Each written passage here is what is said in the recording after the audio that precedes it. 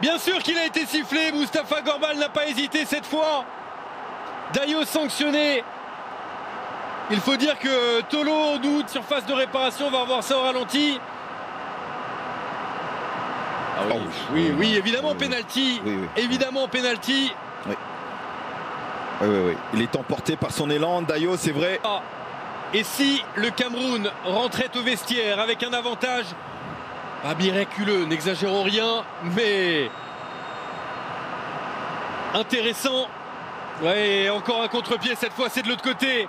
Il ne tremble